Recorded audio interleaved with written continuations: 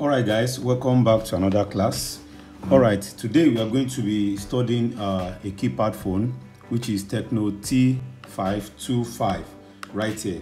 And it only has the schematic uh, layout and the schematic diagram all right? So this is the layout this is how the layout looks like. The front of the keypad phone this is how it looks like all right? This is the front side and this is the back side the back side where all the components are okay the cpu everything this is the back side okay? So that is how the layout always look like. But there is no uh, guideline like the android phone where you will see a line going here and come here. It's not on keypad phones on the schematic. So there are schematic diagrams that will help you to trace where the problems are.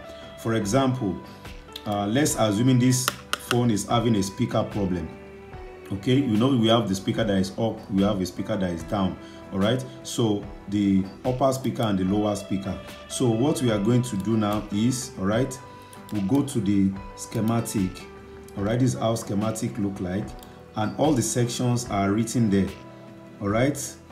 This section right here you see this small section here is vibrator okay?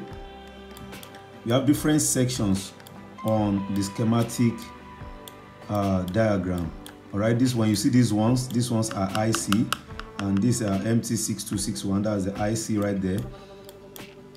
You should know how to read and study all these lines. Look at the SIM side. You always see they write the names all right? This is SIM SIM 1 SIM 2 okay? So uh, here serial flash that's the uh, memory on that phone okay we have PA plus switch, different different sections, Bluetooth and FM radio, all right, Bluetooth and FM radio right there, and the keypad section. I, I, I think I showed you this one, uh, previous video, white backlights, side view backlights, all right. They are all in sections right there. We are going to go to the speaker. You see, this is headset and digital audio. This is receiver, okay.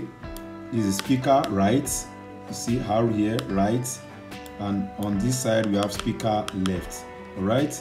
So when we go a little bit down we have the upper speaker and we have the lower speaker right here. So i'm going to teach you how to troubleshoot speaker problem on this phone okay? All right so the first thing is to locate where those speakers are. So if you're having the phone with you physically you can just look at the diagram and compare with each other all right? So first let's examine how the upper speaker looks like where the connector is on the PCB layout okay? You can see right here BL901 BL900 these are the points where the speakers are connected to all right? So now if you want to know where these are if this speaker is having a problem okay all you need to do is to copy this link. You see this BL 901 okay you double click it like this. Okay once you double click it this blue stuff are light on it. Okay that means you have copied it. So you have copied this track. Then you go to the schematic tool here and press and right click on your mouse and press paste. Okay once you press paste all right it will paste that uh, that terminal here and you are going to press search okay once you press search this two stuff will show up from here. That means having two of these results. So the first one i'm going to double click on the first result and the first result brought me here. So that means this is the point that was that was here.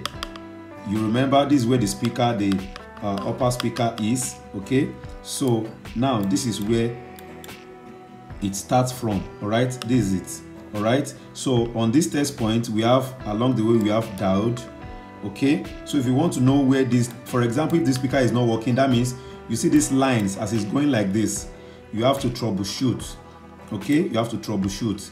Now from here from that bl test point right here is going to the speaker negative. You see loud speaker n uh, zero right here. This n means negative and the upper one here means positive. You know the speakers has two uh, uh, legs that connects to the PCB. So you will look for all this um, this line and on this line all right there is a diode there is a capacitor all right if you want to know where this diode is all right on that pcb so that you can take your readings on this diode if this diode is fine just double click on this like this it will highlight this blue stuff then you come okay to the layout. Okay to the layout. You come to the layout you come to this search bar uh, this search bar. Then you right click with your mouse and press paste. Once you press paste you press search. What you are looking for is the diode all right? Once you press search this uh, result comes out. You double click on this result okay? Then you zoom in. It's always very closer somewhere closer so let's do this. Okay now this is the diode right here. All right? This is the diode. I'm trying to zoom in. This is the diode right here. Okay? This is the diode right here. You can see it's having a thick uh, stuff right here. So this is the diode. So you take your reading on this diode. If this diode is bad you replace it. If it's good you leave it you keep troubleshooting. All right? So now the next thing that, that is there is the capacitor okay? This is the capacitor all right? So if you want to know where this capacitor are it's always closer to this and they are on the same line. So you double click this uh, C902 once you double click it it copies it automatically. Then you go to the layout okay? Then you press on this search button. You right click with your mouse and press paste. Once you press paste you search okay? You zoom in okay? You zoom in. After you zoom in then you click this then this comes out. All right? That is c902 as you can see c902 that's the next capacitor next to this diode. That's how to take uh that's how to make uh take your readings. All right